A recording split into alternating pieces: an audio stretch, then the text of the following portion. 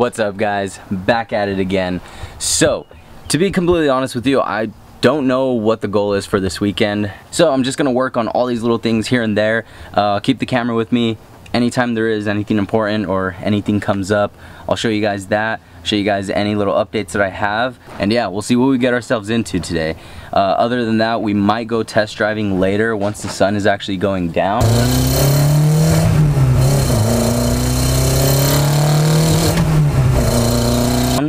Uh, but right now it is super hot. Like it's probably like 112 right now. So Arizona problems, what are you gonna do?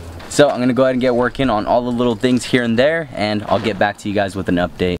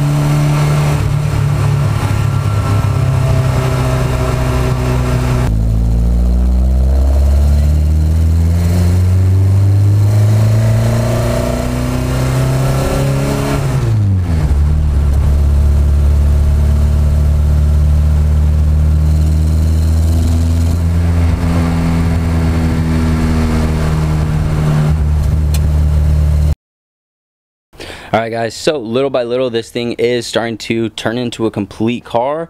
Uh, so right now I am just currently working on trying to get the front bumper on. So ever since I've had the car, the bumper has been misaligned here on the fender. Basically the bumper comes all the way out to like over here. So basically it's as if the bumper is pushed back that way. And I mean, I think the reason for that is because the previous owner maybe uh, rear-ended somebody or just bumped the front. And uh, yeah, that's about it. So basically the bumper from the passenger side is just pushed inward just a little bit. So what I went ahead and did is take the bumper support and just put spacers on the mounting surface right here. So basically what that's doing is just spacing it out on this side and at this point I did already uh, test fit the bumper. It's fitting up pretty straight, not the straightest but it is pretty straight. So I'll be pretty happy with it until I do get this thing painted, get all the body work done and everything like that. It should hold me off until then. But yeah, I just went ahead and aligned that. And right now what I'm doing is getting the bumper ready to actually get mounted onto the bumper support. Because my plans for this are to actually mount a quick release for the bumper. So I just went ahead and picked these up right here. I'm sure you've seen them on pretty much every drift car. But basically the idea with those is to have two of them mounted over here around the middle somewhere. And then from there I do want to figure out something as far as like a quick release on the sides of the bumper. I do not want to use those little rubber clip things that everybody uses because I think those things look really cheap. I'm going to be using those things mounting that on right now. Basically, I have gotten started with this. Um, so right here, the bumper basically mounts up to this surface almost flush, like it's pretty perfect how it fits up. So because of that, this thing, this thing is pretty high. So if I were to have it flush on the bumper, you can see that there's pretty big gap there. So the idea is to bolt the stud down to that right there. That way, whenever um, this thing gets mounted on, it could actually sit flush in here like that. I might end up cutting it off right there just so the bumper can slide in, you know. can slide in, boom, attach to those pins. But realistically, the bumper is pretty flexible. So what I am thinking is I'm going to be sliding it and then just go whoosh, bend it up and then pop it right in place. So that's kind of the idea right now. If that doesn't work out so well, then I am going to be just cutting those off right there just so it could slide in. Um, but yeah, that's the idea right now. I'm gonna go ahead and keep working on this. I'll get back with you guys when I have some updates. Alright guys, getting back to you with an update here. Sorry about the wind if it's really loud. But uh, basically, I went through and actually mounted my bumper on. So, you can see that. And just to show you guys really quick, this is where the bumper was damaged whenever I rear-ended the Tacoma. So basically, that's right where the tow hitch goes in place right there. And that's what bumped into the bumper.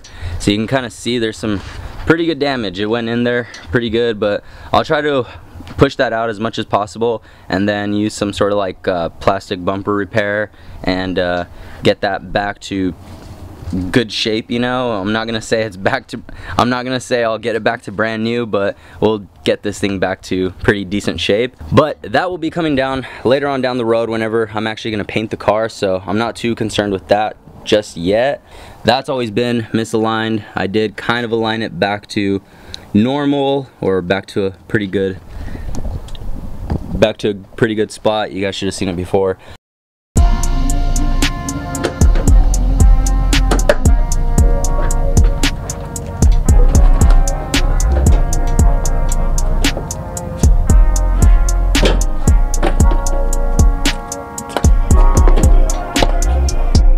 And the whole idea is to basically just put the bumper on and right here, just align it through the factory location. So these little guys actually align it. And then from there, once it's aligned, then you just clip it onto those guys and then that holds it in place. So for now, that's basically all I am using. Although I do have two more which if I needed to I can place those over here and just kind of use these as a way to clip it. And I mean if I went that route where I used uh, those little quick releases over here on this side I might even be able to align the bumper better. So I mean I might do that later on down the road or if I do have any issues with this setup here. But like I said for now I'll just run that Alright guys, getting back to you with another update here. So honestly, I haven't really done too much with the car. I just went through, kind of cleaned the door panels on the inside, and I put my uh, rear tie bar back in, just some little things here and there. And then with all the little things that I've been doing here and there, uh, me and my dad did just take it out a couple of times for uh, some more tuning, and this time we actually did get to rip it. So we might go out again today in a little bit. Uh, so when we go out again, I'll take the cameras with me and I'll try to get some video of that just because this thing was sounding so so good um, so yeah so if we go out again I will get some more footage of that so again, not really much this weekend. Hopefully we will get a little bit more tuning and I can show you guys that. But other than that, I will be back next weekend when more of my parts actually start coming in to finish the wiring. Um, so yeah, so hopefully I can complete the wiring by next weekend. If not, we'll just kind of go from there, see what we get into. But yeah, but other than that, I'll get back with you guys when we're gonna get some more tuning in.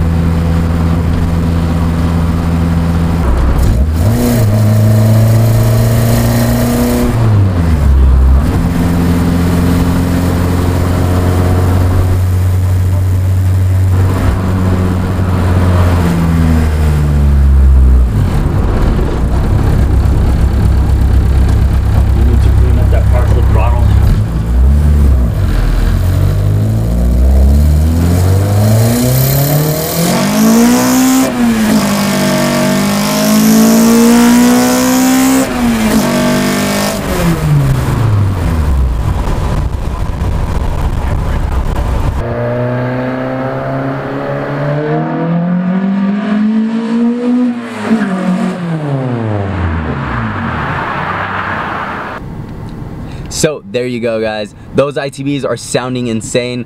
I wish you guys can hear them in person because the videos really don't do it justice. As you guys can see, the base tune is solid. Make sure you guys hit the comments and shout out my dad for making these rips possible. Uh, he did get that base tune super solid. I am able to just drive that thing around. We can rip on it. I'm not gonna be ripping on it too much until we actually get it dyno tuned, but Stella is ripping, those ITBs are singing, and I couldn't be happier. There hasn't been any sort of major issues. I have to take care of a couple little maintenance things here and there, but other than that, I'm gonna keep this video short and wrap it up here so I can get this video out to you guys. So, you know the deal. Hit that thumbs up if you haven't already. Hit that subscribe button. And if you guys are enjoying the build or the channel, do me a favor and share. It'll really help out. I really want to try to get this channel to 2,000 subscribers before I hit the dyno. So let's see if we can make that happen. I'll see you guys in the next one. Later.